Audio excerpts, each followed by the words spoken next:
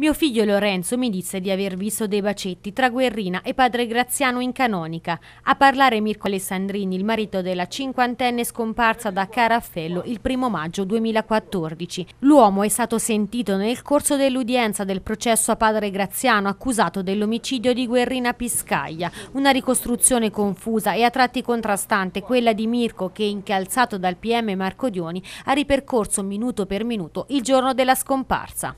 Nel viaggio verso Sestino, ha detto Mirko, chiesi a padre Graziano se avesse notato l'atteggiamento di mia moglie la sera prima con l'ambulante marocchino e lui mi rispose sarà innamorata di lui. Ha raccontato riferendosi al giorno della scomparsa in cui i due si recarono prima a Presciano poi a Sestino rispettivamente per un funerale ed una messa. Da lì Mirko ovviamente ha creduto che la guerrina si era allontanata proprio con questo marocchino, c'era questa, questa convinzione ed è qui che nasce tutta la situazione. Poi dopo però non dimentichiamoci che è lo stesso Graziano che conferma questa circostanza ai carabinieri, cioè che dice che Guerrina è sparita eh, con il marocchino, marocchino che poi è un soggetto totalmente estraneo ai fatti. La mattina del primo maggio Guerrina mi disse di chiedere a padre Graziano se sarebbe dovuta andare a cucinare il coniglio, ma lui disse di no. Ha poi detto Mirko aggiungendo che sarebbe stato il frate il giorno precedente a farle quella richiesta, un episodio che assume una certa rilevanza se riletto alla luce del messaggio inviato da Guerrina al frate il primo maggio.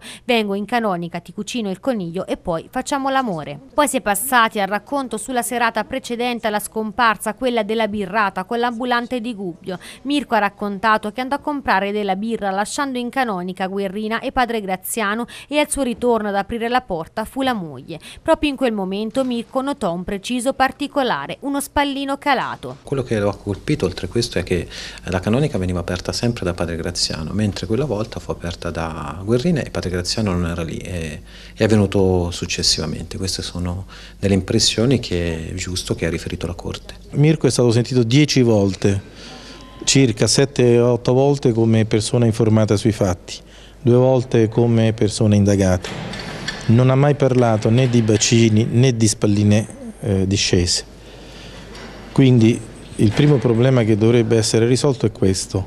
Come mai non ne ha mai parlato alle autorità né ai carabinieri né ai pubblici ministeri né quando era persona informata sui fatti né quando era persona indagata. È stato poi mostrato a Mirko il borsello ritrovato all'interno di un trolley nella camera del frate nella canonica di Caraffello, riconosciuto dalle sorelle della cinquantenne come appartenente alla stessa guerrina. Il marito però non ha riconosciuto né il portafogli né il suo contenuto.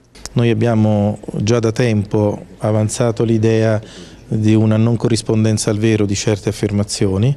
Oggi ne abbiamo avuto la conferma perché Mirko ci ha detto che non ha riconosciuto né l'assorbente, ma di questo ne avevamo già avuto prova sentendo eh, gli ufficiali di polizia giudiziaria che hanno fatto le perquisizioni, e, né il eh, borsello.